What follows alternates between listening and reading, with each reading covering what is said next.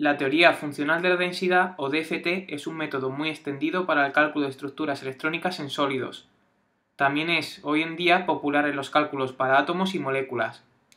En la DFT se reduce la ecuación de estados estacionarios en unidades atómicas a la siguiente. Conviene destacar que epsilon no es, estrictamente hablando, la energía de un electrón, y sí no tiene tampoco un sentido individual aunque sirve para construir la densidad total de carga. Analicemos brevemente los términos que aparecen en el hamiltoniano. El primer término representa la energía cinética. El segundo término, la interacción entre electrones y núcleos. El tercero se denomina potencial de Hartree y se obtiene a partir de la siguiente expresión. Este potencial también se puede obtener resolviendo la ecuación de Poisson, y no es más que el potencial que siente un electrón debido a la densidad de carga electrónica existente, pudiendo simplificarse hasta cierto punto la interacción entre electrones. No obstante, no es suficiente para describir al completo las interacciones electrónicas. Es el último potencial, que recibe el nombre de potencial de intercambio-correlación, el que permite tener en cuenta que los electrones obedecen el principio de exclusión de Pauli, lo cual se traduce en una repulsión efectiva entre electrones con spin paralelo. También tiene en cuenta la correlación entre electrones, que surge debido a procesos puramente mecanocuánticos, e implica que el movimiento de cada uno afecta al de todos los demás. El principal resultado de la DFT es que existe una forma de este último potencial que depende solo de la densidad electrónica. Desafortunadamente, esta forma exacta se desconoce, aunque existen diferentes aproximaciones a la misma. Una de ellas es la LDA, o aproximación local de la densidad, en esta aproximación el potencial tiene la siguiente forma. Ahora que conocemos la forma de todos los elementos que aparecen en el hamiltoniano, podemos proceder a ilustrar el funcionamiento de esta teoría en el caso del átomo de helio. Para ello escribiremos un código sencillo en MATLAB que nos permita obtener la energía de estado fundamental de este sistema. En primer lugar, creamos un mallado de la región en la que nos interesa conocer la solución, en nuestro caso, un cubo cuyos lados van desde menos L hasta L y que tienen n divisiones. X, Y y Z son matrices que contienen la información de las coordenadas en el mallado. Pasamos la información de estas matrices a vectores para poder evaluar luego el potencial de Coulomb originado por el núcleo. Para poder discretizar los operadores necesitamos definir la dimensión del mallado. Definimos también el diferencial de longitud para discretizar el laplaciano y el diferencial de volumen para poder integrar numéricamente. Necesitamos también el número atómico para poder evaluar el potencial colombiano del núcleo. Discretizamos el laplaciano usando diferencias finitas centradas de segundo orden en una dimensión mediante matrices sparse.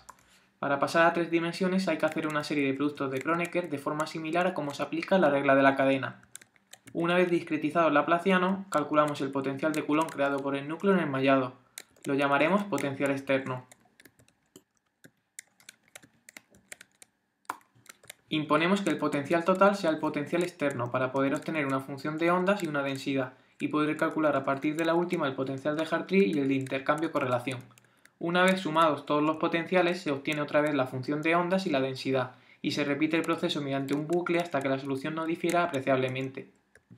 Necesitamos discretizar también el operador potencial. Para ello, introducimos el vector que contiene la información del potencial total en la diagonal de una matriz con la dimensión de nuestro mallado.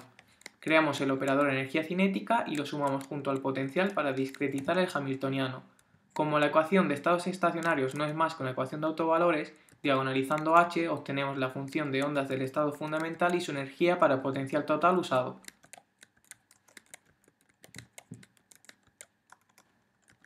Ahora normalizamos la función de ondas y calculamos la densidad total.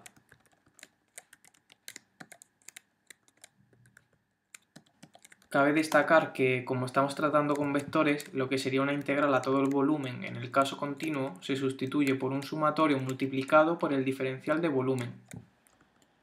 Una vez se tiene la densidad, se puede calcular el potencial de intercambio-correlación asociado a la misma usando la aproximación de la LDA, Para obtener el potencial de Hartree se resuelve la ecuación de Poisson, que al haber discretizado operadores no es más que un sistema lineal de ecuaciones. Una vez que tenemos todos los potenciales que intervienen, los sumamos y volvemos a calcular el potencial total.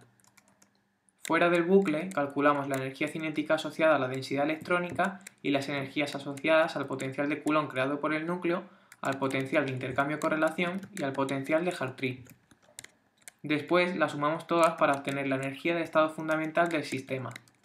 De nuevo, las integrales de volumen se han sustituido por sumatorios multiplicados por el diferencial de volumen. En la energía cinética no aparece explícitamente ese sumatorio debido a las propiedades del producto de matrices con vectores. Conviene destacar que el factor 3 cuartos que aparece en la energía de intercambio-correlación proviene de la relación entre esta y su potencial, en la cual aparece una derivada con respecto a la densidad. La dependencia a la un tercio de la densidad en la LDA origina este factor 3 cuartos. Una vez ejecutado el programa, vemos que la energía del estado fundamental se acerca al valor experimental obtenido para el helio, que es de unos menos 2,9 Hartrees,